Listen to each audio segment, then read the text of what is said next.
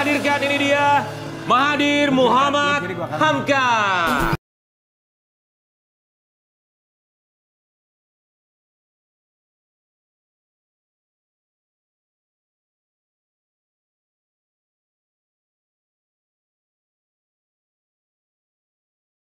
Serda Mahathir Muhammad Hamka, betul ya? Siap, Kita benar, Mas. panggilnya Mas Hamka aja Mas boleh Hamka ya? aja boleh. Mas Hamka sehat?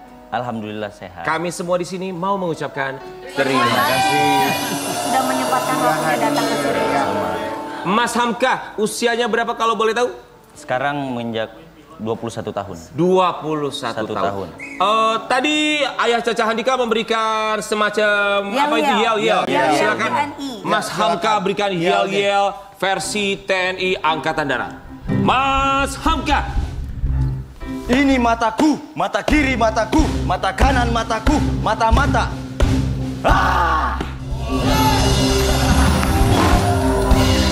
Ini mataku, mata kiri, mata Memang ada halnya gitu. Iya. Yang cocok pasti Ken Diana. Coba.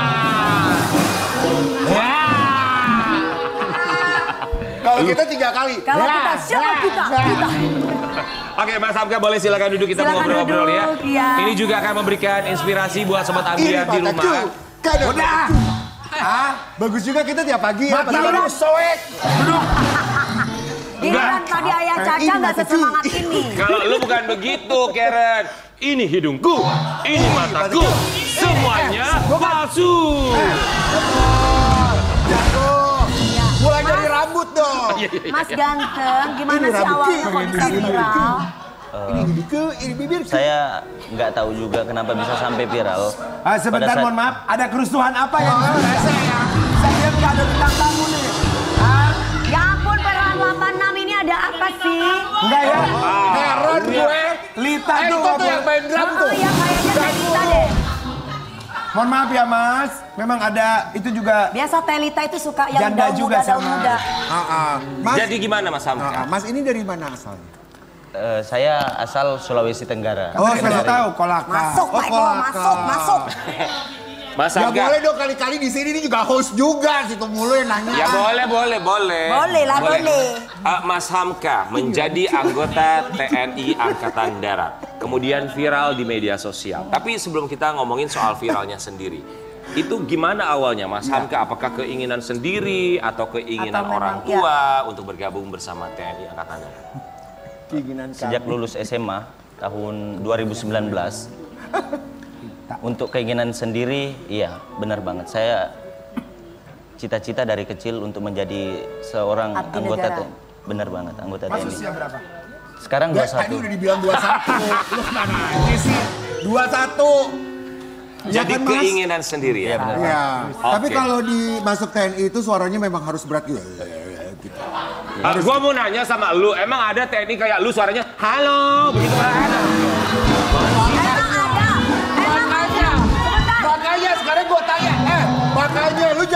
jangan Eh, kayak nggak netizen ada ya. TNI Polri Eh, suaranya Maka semua. eh, Rian tuh kayak netizen ya. Mana ada yang cantik begini? Karam. Cakep. Enggak, kalem, Lu kalem suaranya i, Eh, i. mereka nih. Gila, gila karena nih. Mas, mohon maaf ya. Mohon maaf kurang Oh, berkenan enggak. ya. Mohon Enggak maaf ya. penasaran aja emang harus gitu. Ini mataku. Ya enggak, Ini itu memang. mana? Eh kalau cowok ngomongnya begitu. Oh, gitu ya? Iya bener kak, bener Rian. Kalau ini gue Gitu. bela deh. Beneran. Masa ada ngomong di mana ya? Lalu. Oke, jadi keinginan sendiri, cita-cita mulia pastinya ya. Untuk menjadi TNI AD ini siapa tahu buat sobat Ambiar di rumah yang baru lulus SMA atau akan Iya, lulus. SMA, Iya. pengen jadi. TNI juga. Itu tuh prosesnya seperti apa sih untuk bisa menjadi seorang anggota TNI? Kalau saya pribadi, jangan lupa belajar, rutin, olahraga, dan berdoa. Kamu berasal dari mana? Kolaka.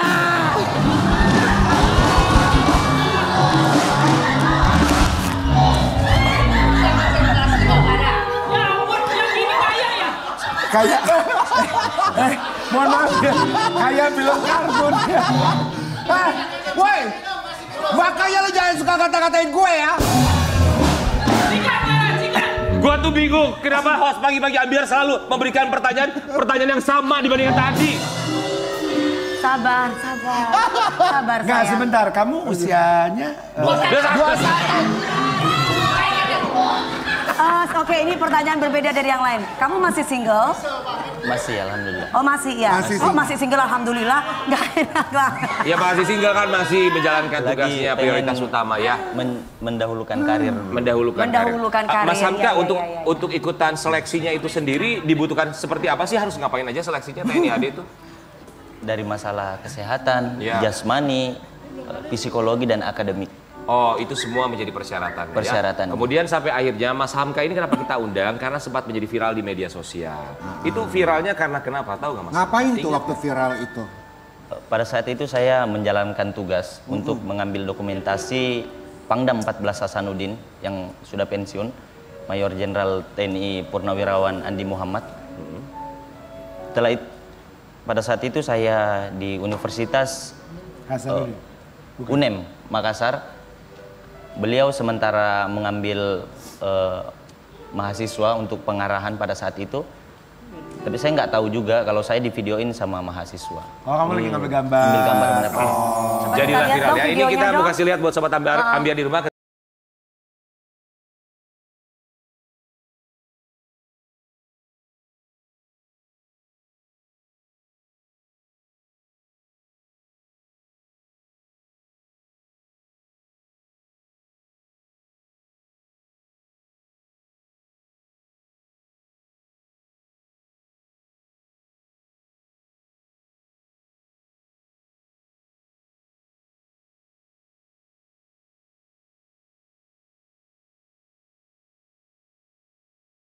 Saya ingat lagi muda kayak begitu. Boleh eh, topinya dibuka? Kenapa Wi? Kenapa? Mas Hamka, apa kakak ngomong ayo? Apa? Eh, boleh lihat rambutnya Baretnya, bagus. baretnya. Baretnya. Iya. Tapi kalau baret boleh dibuka nggak sih Mas sebenarnya? Pas lagi dalam keadaan Boleh ya? boleh. Boleh. Boleh dilihat ya. Ya. Nah, ya sama seperti di tayangan Pakai tadi. baret nggak pakai baret sama gagahnya. Sama gantengnya. Ya, jadi viral Pakai lagi, karena Mas. men- Dipakai silakan dipakai lagi. lagi. Mendokumentasikan kegiatan tersebut sampai akhirnya banyak orang yang posting di media sosial dan akhirnya menjadi viral. Kalau Mas Hamka sendiri tahu viral di media sosial siapa yang ngasih tahu pertama? Teman-teman di TNI Teman-teman di TNI. yang katanya, wah kamu viral nih di TikTok. Pertama awalnya nggak percaya juga, tapi nyampe di rumah ngecek-ngecek TikTok, ada yang kirimin link, oh ternyata benar. Ketika di acara tersebut banyak nggak mahasiswi yang godain Ya. segala macam? Banyak banget. Bilangnya gimana? Bilangnya Apa yang gimana? mereka lakukan? Mas sama aku aja katanya. Mas sama aku aja Kayak lagu ya. agresif juga ya mahasiswa. Siapa yang ngomong Cewek gitu? zaman sekarang ya, Mas siapa yang ngomong gitu? Yang, yang mahasiswa Mahasiswinya, itu ngomong gitu? mahasiswinya. Terus Mahasiswi. Mahasiswa mahasiswi. Mahasiswi Oke. Terus ada nggak yang nge-DM nge-DM? Kamu punya Instagram? punya. Ada nggak yang nge-DM atau em, kamu suka Banyak, baca? Mbak. Banyak yang. DM. Eh, Karena banyak yang DM, Mas, mohon maaf, tolong di blok terlebih dahulu. Karen Delano Instagramnya ya. Takutnya dia nge-DM duluan. Iya, Tapi iya, iya. menurut atasan gimana setelah akhirnya Mas Hamka viral? Apa kata atasan Mas Hamka? Eh, pada saat itu tanggapannya baik, selagi tidak merusak instansi TNI. Betul, betul. Betul, betul, betul. Ini membuktikan bahwa TNI AD kan gagah, ganteng-ganteng dan Betul, tentu dan- saja kita juga yakin banyak di luar sana yang mau menjadi anggota dari TNI ya. Iya. Dan kalau saya usia sendiri Mas- aja, Iya. saya sendiri aja nggak menjadi anggota TNI. Saya punya bisnis baju Basecamp Military Lifestyle. Tapi kebetulan kalau masnya juga mau yang manis-manis, saya punya bakery namanya Mutiara Bake. Ya kalau Mas juga mau potong rambut di Bandung, saya punya barbershop Barberian namanya ya. Ya. Dan ini juga kalau mau donat ada King Donat. Kan capek tuh habis lari-lari ada di Kingdom. Siapa? Kalau ada yang mau sarapan pagi, tutug oncom ada di saya.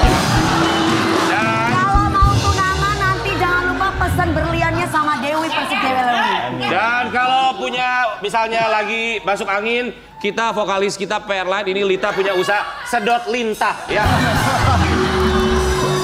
Semuanya hanya lu iklan tadi. Jadi kita mau kasih lihat buat sahabat ambiar di rumah karena keviralannya dari seorang Mas Hamka akhirnya mendapatkan banyak sekali followers di media sosial. Berapa followersnya sekarang? Wow. 119.000 rupiah. Mas Hamka, ini profilnya namanya Uwais Al Karni. Kenapa namanya itu Mas Hamka? Uh, saya pada saat SMA sering ikut kajian-kajian oh, dan aduh, pernah baik. mendengar uh, kisah dari Uwais Al Karni Wow. Aduh, Ya, anak gimana baik itu jangan kau ceritanya? ganggu. Gimana itu? Gimana itu ceritanya? Jadi sayang? panutan ya. Iya, dia menggendong ibunya dari Dengerin sayang, dia menggendong ibunya dari Oh iya. dia tidak pakai kan dulu nggak ada alas. alas kaki. Iya. Dia menggendong dari Yaman sampai Mekah Ya, Untuk naik ya. haji kan. untuk naik haji benar. Ya, itu itu cerita yang memang bisa Sangat menginspirasi berbakti, sekali ya. Ah, berarti sosok ibu punya peran penting untuk seorang Mas Hamka. Sangat penting seorang ibu. Dari kecil ibu yang selalu semangatin saya.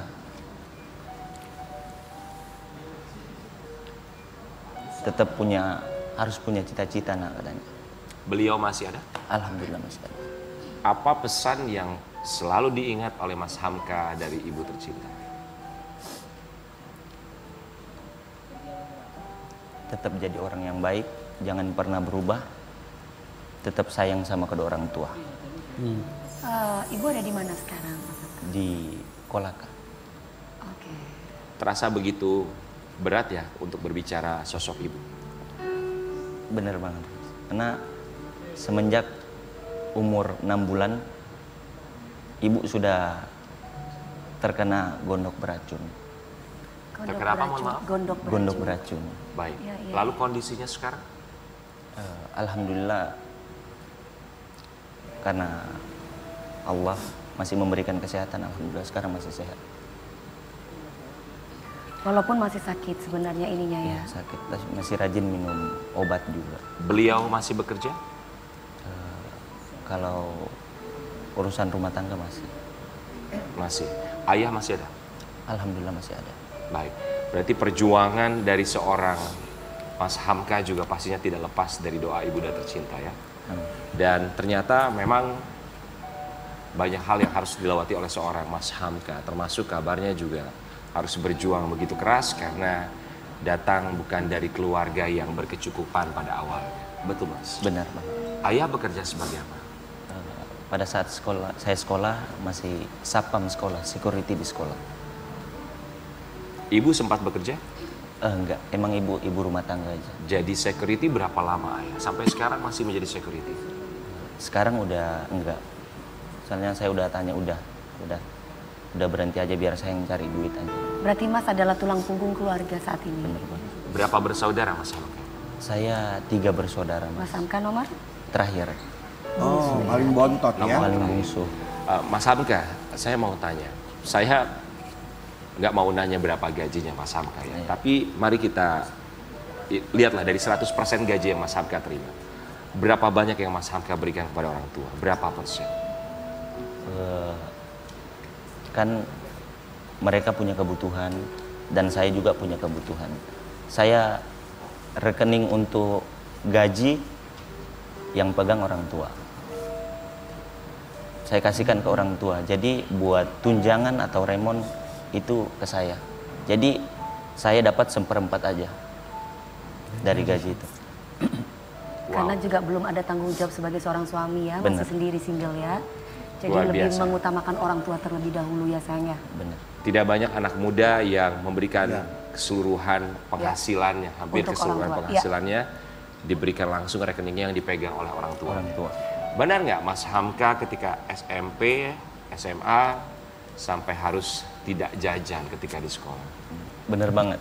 Dari SD itu saya sampai SMP buat bekal di rumah sendiri. Jadi makan di rumah dulu, terus buat bekal buat makan siang di sekolah. Dari SD sampai SMP. Setelah SMA saya berinisiatif sendiri untuk jualan online. Jualan online, Online. SMA, SMA. jualan apa itu?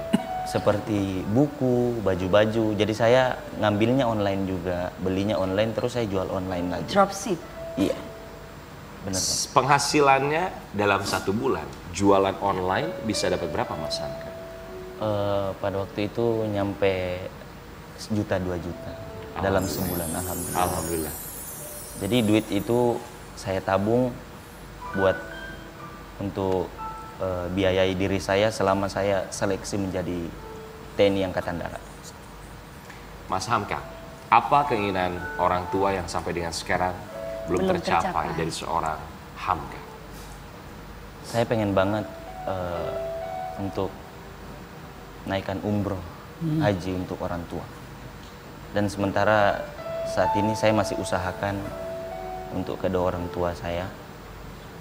Sementara saya kumpulkan duit buat beliau. Kita berharap semoga dimudahkan, dilancarkan segala usahanya, dibukakan terus pintu rezekinya, Amin. supaya bisa memberangkatkan kedua orang tuanya pergi ke tanah suci. Amin. Begitu berbakti sekali, apa pun dilakukan untuk orang tua tercinta. Arti orang tua untuk seorang Hamka? Arti orang tua buat saya, orang tua adalah segala-galanya. Kenapa sampai saya bilang seperti itu? Karena dia yang membesarkan kita, dia yang melahirkan kita, dia yang mendidik kita sampai seperti ini. Jadi kita harus serahkan semua tenaga, pikiran, Waktu. dan waktu buat orang tua. Mas Hamka, apa yang ingin disampaikan untuk orang tua di Kolaka yang kami yakin sedang menyaksikan anaknya yang merupakan kebanggaan bagi mereka. Silakan. untuk ibu, ayah, saya ucapkan terima kasih telah membesarkan saya, mendidik saya, dan memberikan kasih sayang buat saya.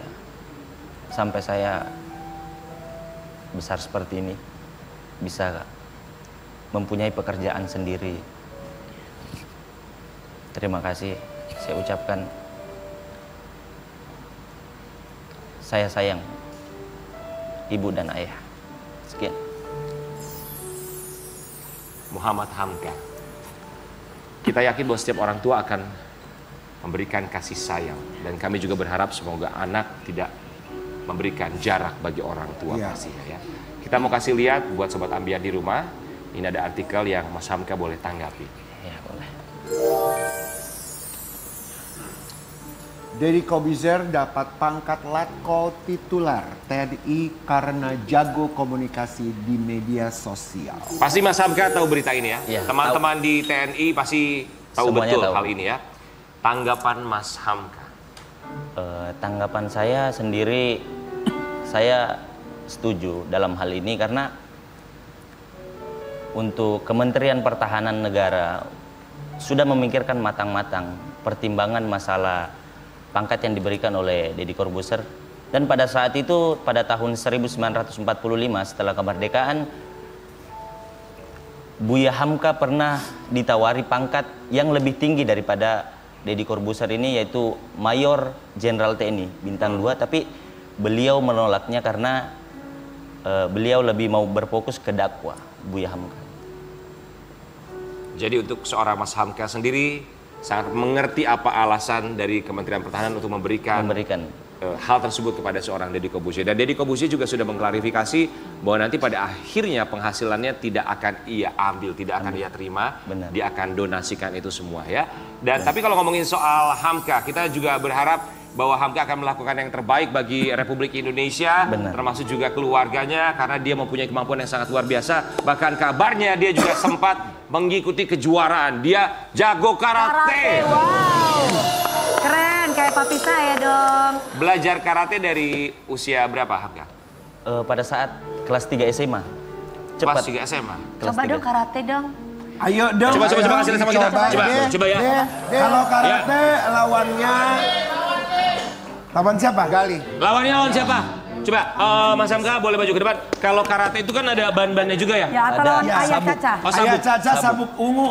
maaf, maaf. Saya terkenal bukan karate. Apa? Apa? Karatan. Silakan. Sabuknya sampai sabuk apa? Sampai dan satu sabuk hitam. Sabuk hitam. Oke, Coba, coba. kita akan memberikan seorang penantang. Kamu sabuk hitam, yang satu ini sabuk pelangi. Ayo Karen, ayo. Ayo karate lo sini. Ya. Karen Delano, kebanggaan bagi-bagi ambiar.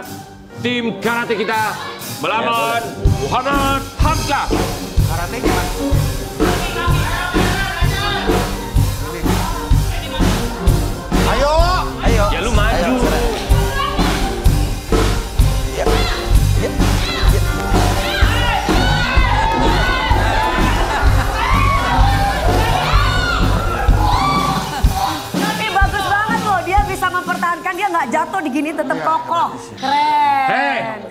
Bukan jaipong. Eh, kita kembali sesaat lagi tetap di pagi-pagi ambiar.